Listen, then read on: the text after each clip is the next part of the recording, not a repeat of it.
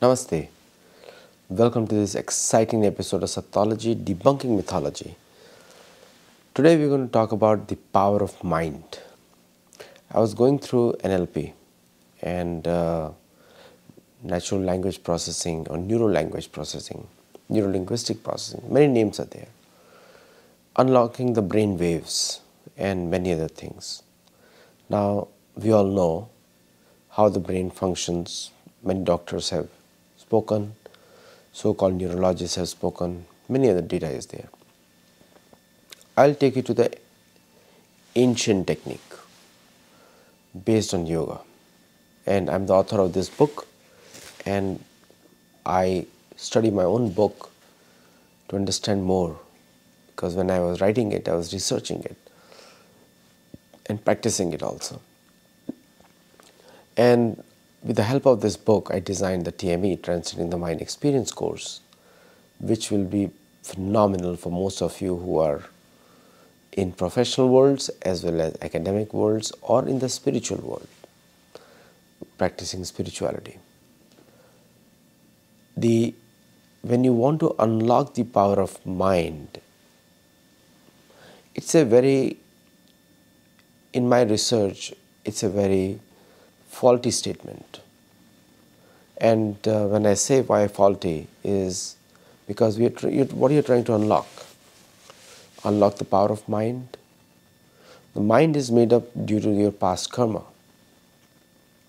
So it doesn't have the power to unlock because you're already living your karma. And so, what are you trying to unlock? And that's a fake thing going on in the world today. You don't have, you cannot unlock something which you've already done in the past.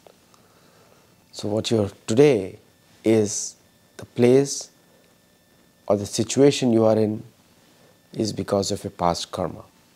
Believe me or not believe me, doesn't matter to me. Because I have, I'm here to tell you the truth. How you can unlock the power of intelligence. That's what you should say. Intelligence is also through past karma, but living it to the full potential is what you can do. So, number one step understanding the, that the mind functions with five vritti. And the vrittis are smriti, vikalpa, viparyaya, praman, and nidra. These are the five vritti. So you have to subdue the vritti. There are two methods there abhyas and vairagya. Abhyas is practice, and vairagya means detachment. And when you say when you talk about abhyas, it's in three categories: slow, medium, fast, and consistent. Not just doing it today and you will feel benefit immediately and then leaving it tomorrow. And vairagya means detachment from anything seen or heard. Whatever you have seen or saw and what you heard, you detach from it. That's called vairagya. Practice these two things. And I also practice it as much as I can, and I'm telling you with practice. I'm going to tell you what I follow. And and Patanjali, when he talks about these two things, is corroborated by Bhagavad Gita. Krishna Bhagavan also says the same thing. Abhyasena vairagyena chai diyate. He says same thing, same two words are being used there. You cannot become a good meditator or you cannot practice good meditation if you don't follow these two things. The culmination the vehicle through which you attain higher power than what your past karma is, is built on these principles. You don't control the mind, you cannot modify the mind, there is no such thing as subconscious mind. These are all marketing terms designed to spend you more so that you can spend more money.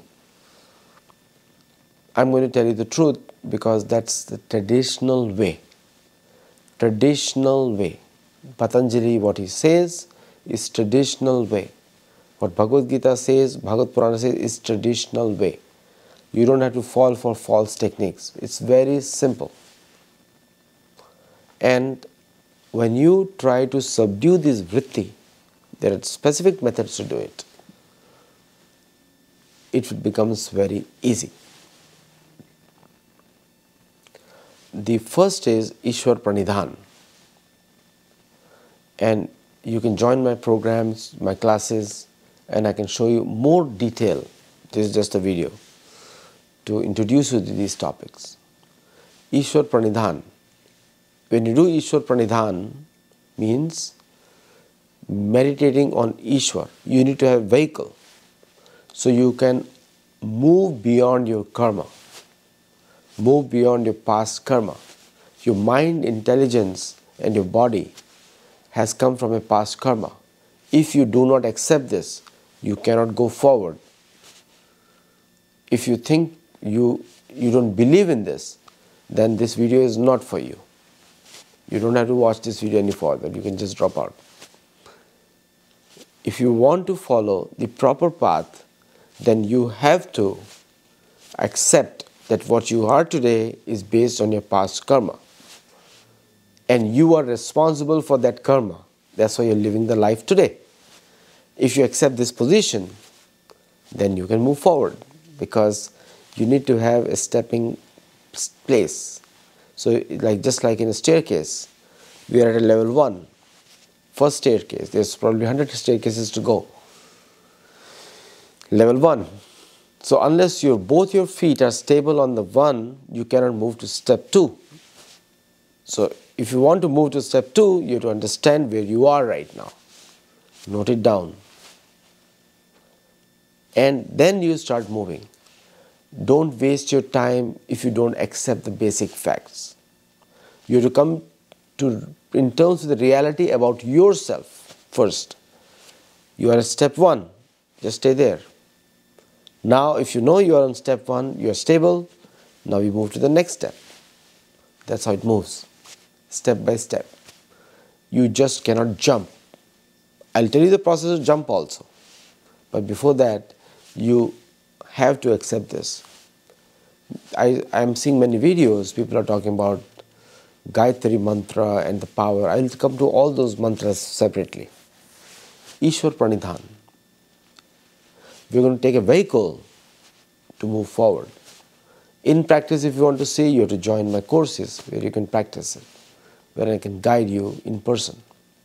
But otherwise, you have to first accept where you are, and now you have to move forward based on that. How do you move forward? You need a vehicle. If the stairs are steep, you need to hold something to it.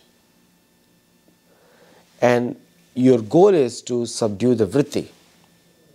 Don't forget the goal. Five vrittis are there. You can read in my book. There's a book. Smriti, Viparya, Vikalpa, Nidra, and Pramana. These are the five vritti. Your goal is to subdue these five vritti. Because if you don't do these basic steps, you cannot move forward. Many techniques are there. I was facing some problem today and I'm practicing some of these techniques and have immediate benefit. How do you move forward from a current position? Step 2. Number 1, abhyas, practice on step 1. Take the example of ladder. You're step 1, practice here. What you need to practice? Number 1, you need to write down your pramana definition. Pramana means experiences. What you see, what you infer, and what you've heard, based on which your reality is made. Write it down about your current status of mind. What you see, what you infer, and what you have heard or read. Then you have to also write down apparent misconceptions, viparyaya. Third, you have to write it down on a piece of paper is vikalpa. That means you have to write it down on paper that that the what you have read or heard but you have not experienced it. That's vikalpa. Then you have to write down the, the what you have experienced, smriti, based on what you heard or seen. And and you have to also write down what you have neither heard nor nor experienced, but would like to do that. That means you are unaware of those situations. That's nidra.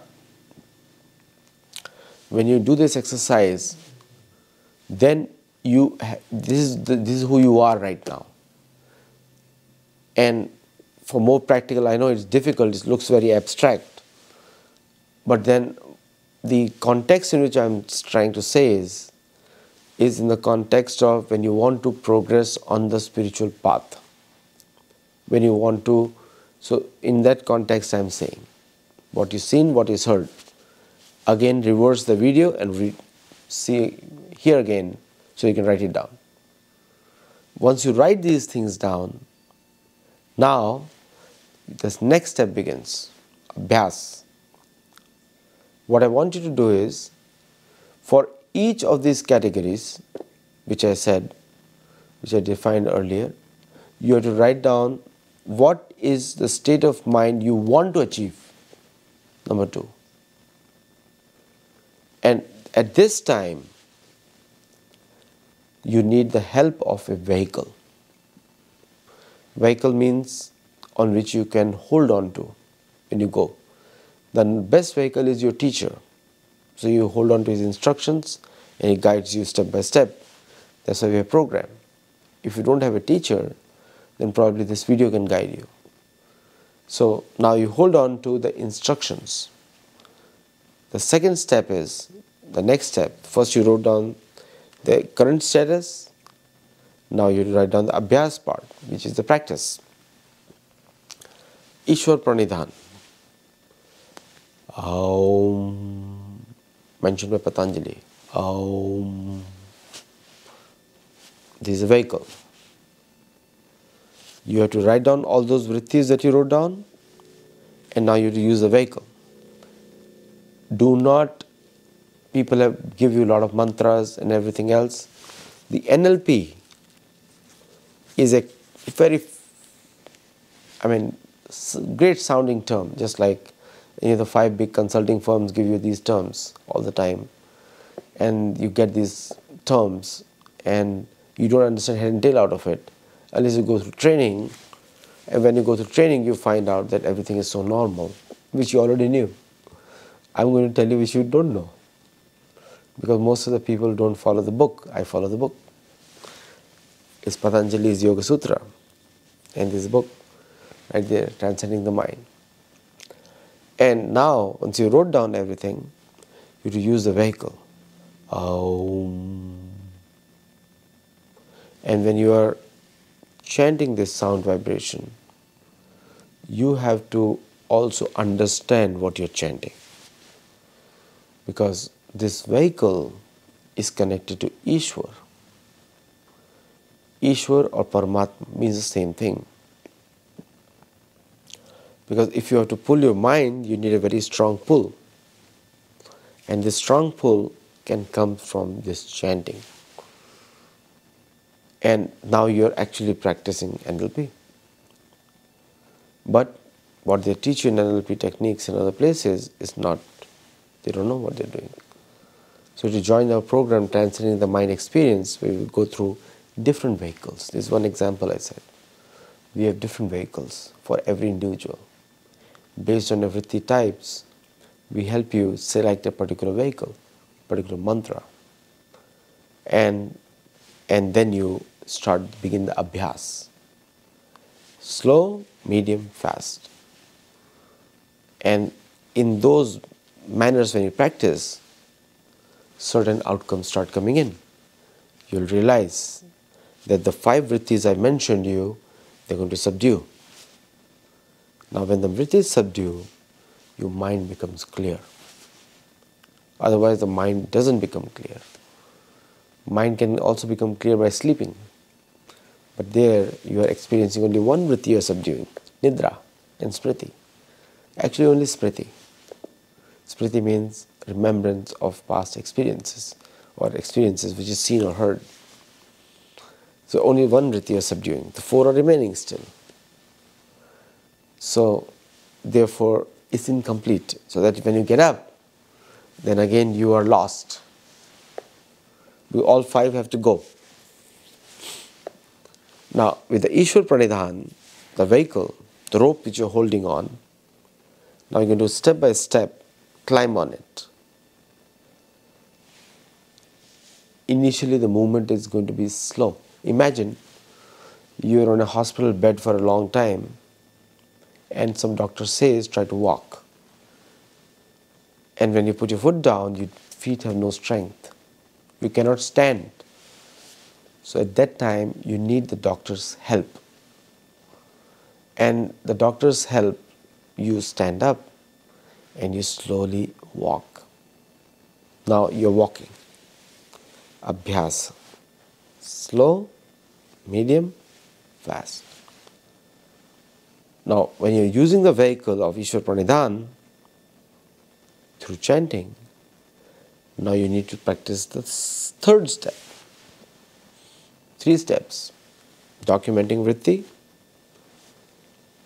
using the vehicle, abhyas, and now third is vairagya.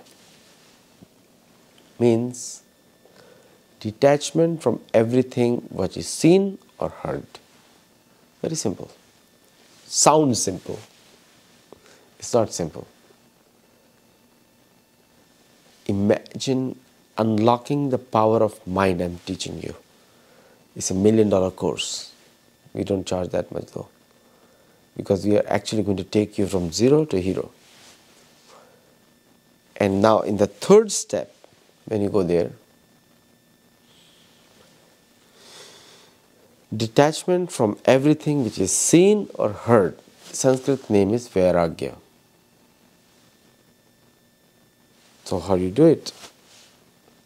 Again, document, paper and pencil, write it down. What are you going to practice now? And when you actually combine the three together, Ishwar Pranidhan, Vairagya, abhyas and documenting the vritti, now what happens is you become completely blank. Means peaceful. You are just happy within yourself. Not selfish, but you're just happy. Because the vrittis are slow. That means your karma is actually slow. Karma, I mean the outcome of the karma, prarabdha is actually, that's an, prarabdha means what you are going to experience. So it's actually not affecting much. And now you take the next step.